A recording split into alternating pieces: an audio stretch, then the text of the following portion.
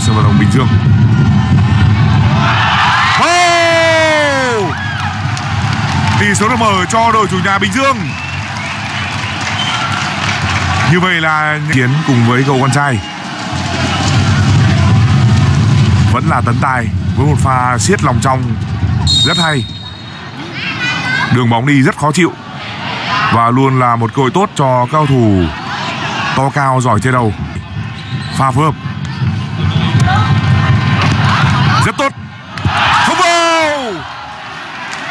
Suýt nữa tỷ số được đưa lên 2-0.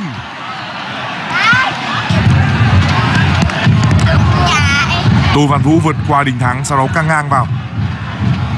Như dọn cố cho Sĩ Giáp. Một tình huống có thể nói là dứt điểm ra ngoài khó hơn, đá vào trong rất nhiều.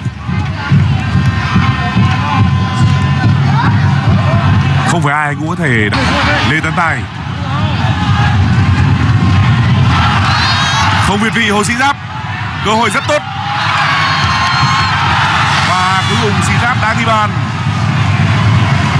Bàn thắng đầu tiên. Và theo là chúng ta thấy vai trò của Tấn Tài. Với Tấn Tài, Bình Dương có thể chuyển từ phòng ngự sang tấn công rất nhanh.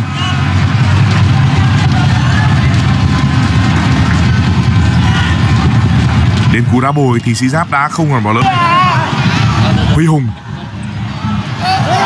Dứt điểm. Vào!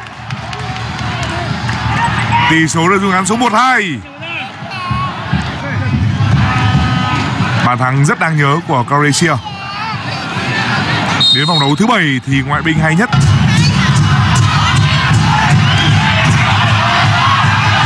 Tình huống nguy hiểm, Có rút lấy nhà không? Và như vậy là 3-1 Cho BKM Bình Dương. Một pha đốt lấy nhà đáng tiếc của Thiago.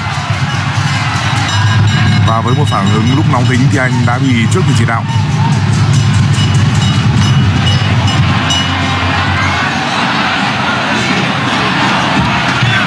nỗ lực phá bóng bất thành và đã trở thành bàn thắng cho Bình Dương.